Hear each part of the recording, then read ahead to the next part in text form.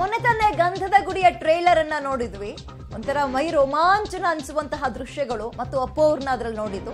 ಇದಾಗ್ತಾ ಇದ್ದಂತೆ ಸಿನಿಮಾ ನೋಡೋಕ್ಕಿರುವಂಥದ್ದು ಇನ್ನೊಂದೇ ಹೆಜ್ಜೆ. ಅದಕ್ಕೂ ಮುಂಚೆ ಪ್ರೀ ರಿಲೀಸ್ ಇವೆಂಟ್ ಅಂತ ಹಮ್ಮಿಕೊಂಡಿದ್ದಾರೆ ಅದು ಅಕ್ಟೋಬರ್ ಇಪ್ಪತ್ತೊಂದಕ್ಕೆ ಪುನೀತ್ ಪರುವ ಕಾರ್ಯಕ್ರಮ. ಬೊಮ್ಮಾಯಿ ಅವರಿಗೆ ಅಶ್ವಿನಿ ರಾಜ್ಕುಮಾರ್ ಅವರು ಆಹ್ವಾನವನ್ನು ಕೊಟ್ಟಿದ್ದಾರೆ ಸಿಎಂ ಬೊಮ್ಮಾಯಿ ಅವರಿಗೆ ಇದೀಗ. ಪ್ಯಾಲೇಸ್ ಗ್ರೌಂಡ್ನಲ್ಲಿ ಈ ಒಂದು ಕಾರ್ಯಕ್ರಮ ನಡೆಯುತ್ತೆ. ಗಂಧದ ಗುಡಿಯ ಪ್ರೀ ರಿಲೀಸ್ ಕಾರ್ಯಕ್ರಮ.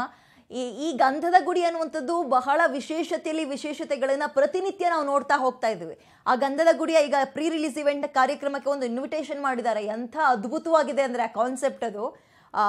ಆ ಒಂದು ವುಡನ್ ಬಾಕ್ಸ್ನಲ್ಲಿ ಬಾಕ್ಸ್ ಓಪನ್ ಮಾಡ್ತಾ ಇದ್ದಂಗೆ ಅಪ್ಪೋರ ಫೋ, ಒಂದು ಪ್ರತಿಮೆ ಆಗಿರ್ಬೋದು ಪುತಳಿ ಆಗಿರ್ಬೋದು. ಆ ಪುತ್ಥಳಿಯ ಕೆಳಗೆ ಒಂದು ಗಂಧದ ಪೀಸ್ನಲ್ಲಿ ಪುನೀತ್ ರಾಜ್ಕುಮಾರ್ ಅವರ ಹೆಸರಾಗಿ ಒಂದು ಸೈನ್, ಆ ರೀತಿಯ ಸಿಗ್ನೇಚರ್ ಒಂದು ಸ್ಟೈಲ್ ಆಗಿರ್ಬೋದು.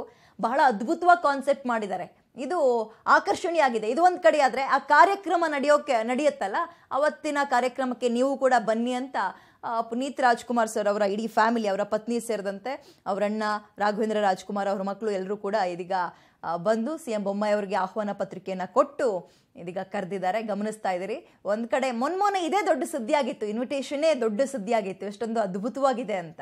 ತಿಂಗಳು ಅಕ್ಟೋಬರ್ ಇಪ್ಪತ್ತೊಂದಕ್ಕೆ ಗಂಧದ ಗುಡಿ ಪ್ರೀ ಇವೆಂಟ್ ರಿಲೀಸ್ ಇವೆಂಟ್. ಗಂಧದ ಗುಡಿ.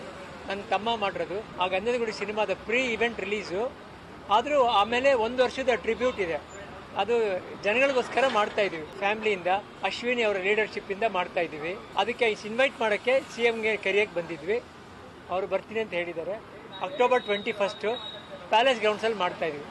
ಎಲ್ಲ ಸೌತ್ ಸೌತ್ ಇಂಡಿಯನ್ ಇಂಡಸ್ಟ್ರಿಗೆ ಸಂಬಂಧಪಟ್ಟಂಗೆ ಎಲ್ಲರನ್ನೂ ಕರೆದಿದ್ದೀವಿ ಎಲ್ಲರೂ ಕನ್ಫರ್ಮೇಷನ್ ಕೊಡ್ತಿದ್ದಂಗೆ ನಿಮ್ಮ ಹತ್ರ ಯಾರ್ಯಾರು ಬರ್ತಾರೆ, ಏನೇನು ಮಾಡ್ತೀವಿ ಅಂತ ಎಲ್ಲ ತಿಳಿಸ್ತೀವಿ.